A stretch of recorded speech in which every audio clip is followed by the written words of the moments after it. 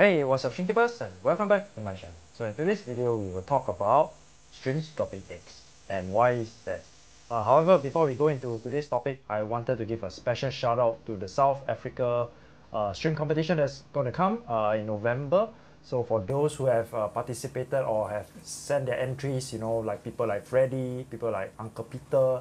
So if you have already uh, sent in your entries, uh, really appreciate it. And if you can send a little bit more, one or two more, definitely it will help with the contest. Uh, so at the end of the day, we want to be very sure that you know the competition is all about uh, you know bettering yourself. So in the sense that you actually compete with yourself, uh, you have somebody to actually look at your streams, give you uh, give you some tips on how to actually improve. I think that's where we want to provide the additional value in that sense. And for those who have not entered, you know, Uzi, uh, I think the, the Vedas, you know, the Neocaridinas group. So put your entries in. So put them as many as you can, maybe four Caridinas and five Neocaridinas. So put it up there so that you know uh, when I'm there uh, to to provide some you know information on how to actually grade them, how to actually improve them. I think that's where uh, I often provide this additional value when people uh, in the contest actually ask me, you know, what do you actually see between uh, this and that, and what do you actually, how do you actually uh, improve it in, in that sense? Because, for example, uh, colors of legs and uh, the, the shape of the body, or you know, deepening deepening the colors. How how do we actually do it? Because uh, getting just a stream with great legs and a stream with transparent legs and then you cross them together, it doesn't mean that automatically all the streams will have great legs. So uh, from a color perspective, we need to actually want to see the robustity, you know, the, the entire end-to-end of the stream having colors. Uh, that is the color pigmentation. Uh, so that's not like a spot uh, spot pigmentation where we want to only enhance the legs, only enhance the, the body. So colors comes throughout the entire stream. So we want to work on that and that's the type of value that I actually provide in terms of uh, uh, during competition when I actually share all this information to breeders who actually uh, are interested to learn. So there are you know breeders who participated in the contest, uh, come up to me and then ask me, okay, what do you see in this? How do you think I can improve? I think that's where I will uh, take a, uh, a snapshot of, of the picture of the stream and then I will share with him or her directly and saying that okay, here is where we look at and then they go ah that's something that they may not have uh, visualized before or never thought about before. So these are some of the things that uh, we provide the additional value. I think that's where we want um, we, we, we can actually provide. So for those who have uh, not entered please you know please enter. Uh, it will definitely be a, a game changer for south africa because that is the, going to be the very first one. So uh, coming back to today's topic uh, on stream dropping their eggs and what are some of the things or signs that you can do or change or not change or not do you know uh, to actually understand why they do uh, the things they do. So for example you know over here we can actually see the one of this uh, snowfall female.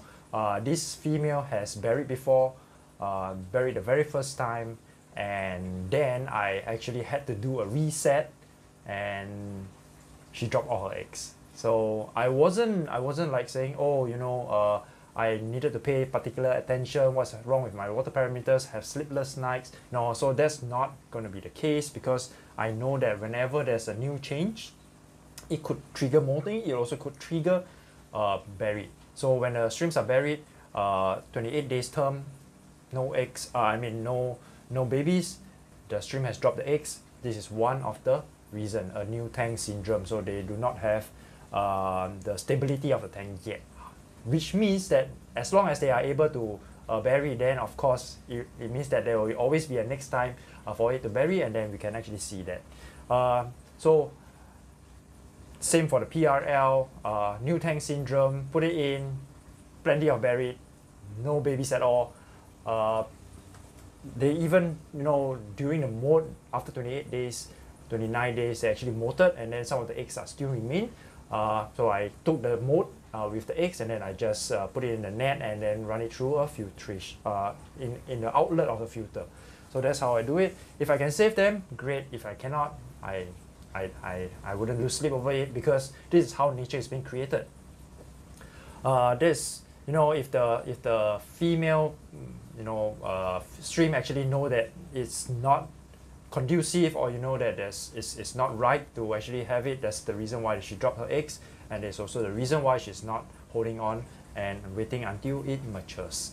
So uh, not only so are there other uh, you know things that could actually you know trigger them to actually drop their eggs yes definitely uh, there will be uh, like for example if the if they are newly minted females. Like for example a new newly grown up female first time married first time mom uh, she may not have the experience of it. She probably will drop her eggs so nothing to worry about. She will berry again and then keep going. So where does one need to actually get worried when when you keep seeing the the eggs being dropped? So for example if you have one clutch and it drops and then the next month it berried again and it's dropped within the first 10 days. I think that's where you actually want to take a look and see what's the reason. Uh, usually when there's a problem the streams don't breed meaning that when there's a problem there will not be berried streams. However when there is berried streams and there's often uh, kicking out of the eggs I think that's where you actually need to pay a little bit more attention to. Uh, there could also be degradation. That's what I've uh, mentioned in the I think two years ago in one of the videos about degradation. Uh, that is where uh, we need to pay attention where the inbreeding has been uh, too much too much inbreeding. So signs of inbreeding will be you know the the female keep dropping her eggs. Uh, second is that the babies will never survive under any condition. So every time when they uh, they, they throw out the, the babies uh, then it, it just dies. So you know uh, one of the things that we have to look at uh, especially when you've meet all these or you face such situations whereby the streams actually the babies do not survive or you know the, the mom keep dropping her eggs. And and these are signs of degradation. The signs of degradation means that uh, the streams are too inbred.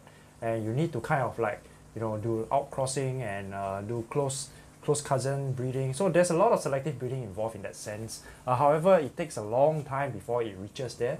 Uh, it doesn't mean it will not reach uh, but it takes a long time to reach there um, but then again you know uh, do not be do not overthink the the situation and then start adding this and that. For example if let's say oh you know uh, my I, I, I see that there's no there's no babies uh, my my female stream has dropped all her eggs. What should I do? Should I you know add this? Uh, is there insufficient bacteria? Is there insufficient this and that? Is there insufficient food? Is there insufficient biofilm? So do not do anything out of the extraordinary. So I think that's where uh, I want to drive the message across is that if it berries before it will berry again.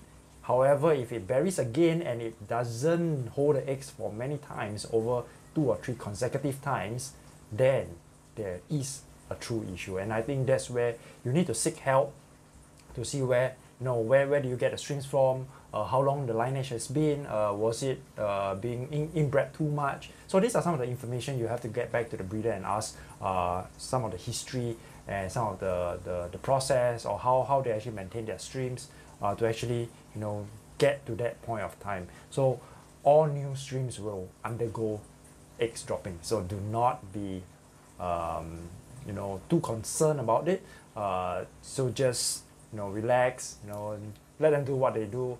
Uh, every time the first time they they, they get berried uh, even a new tank even they are you know kind of like old streams uh, if they are new tank sometimes they still you know drop their eggs. And if one or if one of them drop the eggs and some don't drop that's still fine. But if all drop of them then it's actually still fine as well. Because at the end of the day it's a new tank uh, they need time to actually adapt. So uh, do not you know stress yourself too much over over it.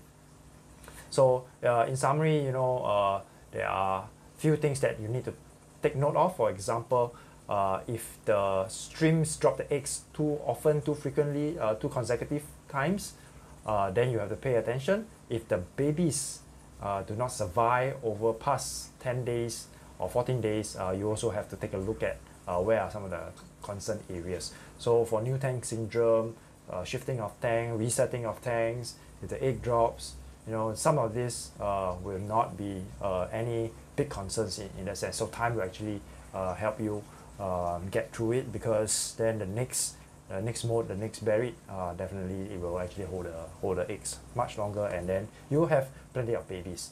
So hope you guys have uh, enjoyed this video and for those who like this video please remember to give a thumbs up and for those who you know are new to this channel please remember to uh, subscribe to this channel and appreciate uh, new join member to to uh, to this to my channel. Uh, so really appreciate it. It actually gives me uh, support in that sense. So remember that all proceeds will go to any of these uh, kind of like uh, increase in uh, technology and things that I actually try to provide more better more and better videos for you guys. So until next time,